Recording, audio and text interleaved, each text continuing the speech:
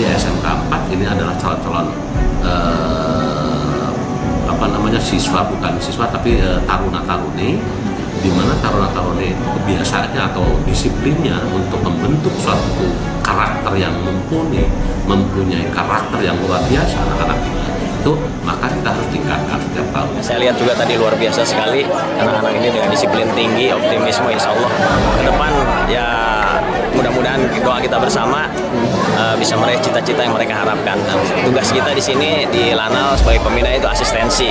Ya kebetulan juga kaitannya SMK ini kan dengan kelautan, dengan pelayaran, kemudian juga ada bagian ada nautika, teknika dan sebagainya.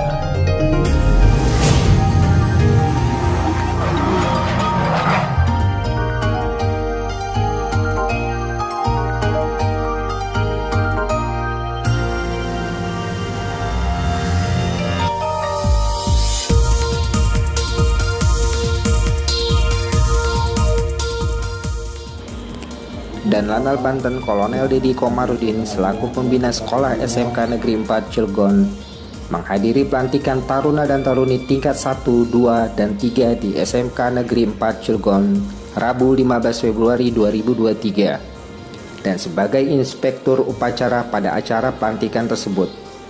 Hadir dalam pelantikan taruna dan taruni tingkat 1, 2, dan 3 ini di antaranya dan Lanal Banten sebagai pembina sekolah SMK Negeri 4 perwakilan Basarnas Banten, perwakilan Ditpol Airut Polda Banten, KSOP, perwakilan PT Indonesia Power Suralaya PGU, dan perwakilan wali murid dan ratusan taruna dan taruni tingkat 1, 2, dan 3. Pelantikan taruna dan taruni yang tahun ini baru dilaksanakan, di mana setelah dua tahun masa pandemi COVID-19 tidak pernah dilaksanakan.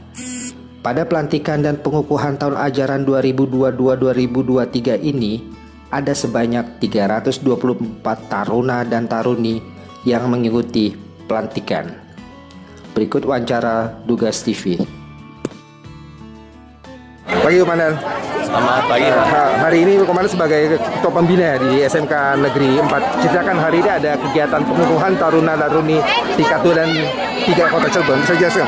Ya, jadi uh, Lanal itu sebagai pembina di SMK sini di SMK Negeri 4 Cilegon ini karena ya salah satunya memberikan landasan disiplin buat anak-anak muda kita pak. Hmm.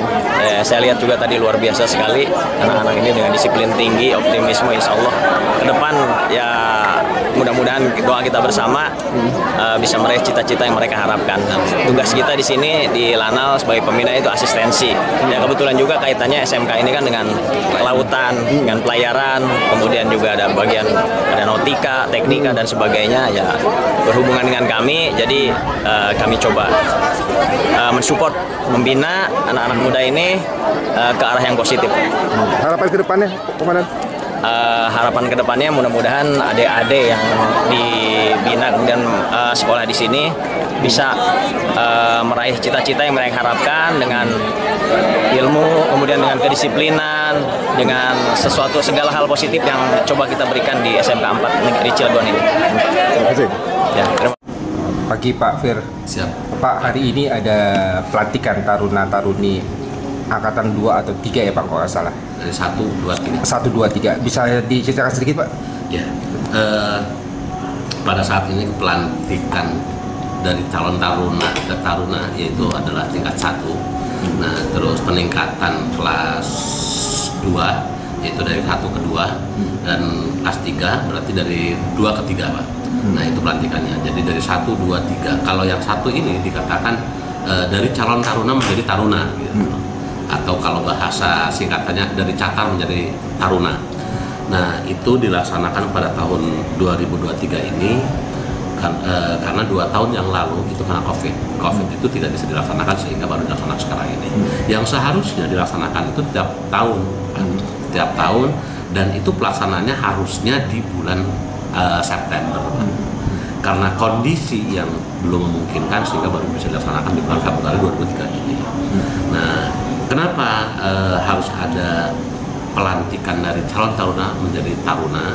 Karena di SMK 4 ini adalah calon-calon uh, apa namanya siswa bukan siswa tapi uh, taruna taruni di mana taruna-taruna itu kebiasaannya atau disiplinnya untuk membentuk suatu karakter yang mumpuni, mempunyai karakter yang luar biasa anak-anak kita itu maka kita harus tingkatkan setiap tahunnya dari taruna-taruna menjadi taruna dari taruna tingkat satu menjadi taruna tingkat dua. Dari taruna tingkat dua menjadi taruna tingkat tiga. Nah kalau di bahasa TNI ataupun Polri itu pengambilan eh, apa namanya ya eh, kayak nah, kenaikan pangkat gitu. Kenaikan pangkat ataupun eh, pengedrilan supaya karakternya itu betul-betul terbentuk. Yang dari eh, calon taruna betul-betul sudah layak menjadi taruna. Karakternya sudah terbentuk sudah ada nah kalau dari taruna tingkat satu ke tingkat dua ini untuk penggemblengan supaya menjadi eh, karakternya yang kuat gitu. Begitupun dengan kelas 3 ataupun eh, tingkat 3 seperti itu tuh adanya. Nah insya Allah SMK 4 untuk tawuran itu tidak akan pernah ada. Kenapa? Karena emang punya disiplin tersendiri gitu. Eh, dan dibina oleh Lanal Eh, makanya di struktur organisasi SMK 4 itu pembinanya adalah Lanal Banten yang punya tanggung jawab untuk eh, apa namanya mendidik anak-anak kita pembentukan karakternya. Eh, sesuai dengan apa namanya SMK 4 itu eh, ininya di pelayaran gitu ya. Jurusannya itu di pelayaran dua jurusan di pelayaran. Itu yang apa namanya harus tetap dilaksanakan. Saya berharap dengan kejadian-kejadian ataupun eh, pelantikan-pelantikan taruna calon taruna taruna taruna tingkat satu tingkat dua juga sama seperti itu itu bisa dicontoh oleh sekolah-sekolah lain sehingga SMK yang identiknya dengan tawuran itu bisa hilang gitu Pak. Gitu. Maka eh, kalaupun saya ditugaskan di mana pun maka saya akan coba terapkan yang namanya karakter building ataupun eh, kalau di sini dulu nama- na- dulu namanya lacarmin latihan dasar militer kalau di sekolah-sekolah lain itu biasanya dikatakan dengan bela negara nah itu tuh. nah kita eh, disebutnya dengan karakter building pak untuk pembentukan karakter mungkin demikian Pak, ta- ada berapa taruna-taruni Pak yang dilantik? Eh, semuanya itu 324 Pak. Eh, namun ada yang tidak ngikut kisaran di angka eh, 70-an karena anak ini ada yang di kelas 3 ataupun di tingkat 3 itu ada yang sudah bekerja Pak. Eh, ada juga banyak yang lagi PKL kelas kelas 11-nya lagi PKL sehingga eh, kami tidak tidak apa namanya tidak mengharuskan daripada daripada nantinya kita kena blacklist oleh perusahaan yang lagi PKL maka kami juga tidak mewajibkan itu. Tapi secara otomatis dia yang dulunya sudah pernah gitu, sudah pernah di- dijadikan eh, apa namanya eh, pelantikan itu. Yang penting kan karakternya ini seremonialnya gitu. Suatu kebanggaan untuk anak-anak dan orang tua bahwa anaknya telah eh, dijadikan taruna yang tadinya eh, calon taruna. Dan naik di eh, tingkat satu jadi tingkat dua tingkat dua jadi tingkat seperti itu Pak, yang tadi yang hadir siapa aja Pak? Bisa dijelaskan Pak sedikit? Eh, kebetulan yang hadir ini dari eh, langsung Komandan Lana Banten, terus Pol Airut eh, komandannya, terus dari eh, KSOP ya, KSOP, Gapasdap ya, Basarnas itu alhamdulillah datang gitu Pak. Insya Allah eh, hari ini juga ada kunjungan dari apa dinas pendidikan dan itu KCD gitu. gitu. Pak, eh, terakhir pesannya Pak terhadap eh, taruna-taruni yang dilantik. Uh, pesan saya dengan dilantiknya uh, dari calon taruna ke taruna dari tingkat satu ke tingkat dua, tingkat dua ke tingkat tiga ini menjadi taruna-taruna yang handal, dari taruna-taruna yang mempunyai disiplin yang sangat luar biasa sehingga uh, begitu nanti lulus atau sebelum lulus dia sudah bisa diterima di dunia usaha dengan industrinya seperti itu. ました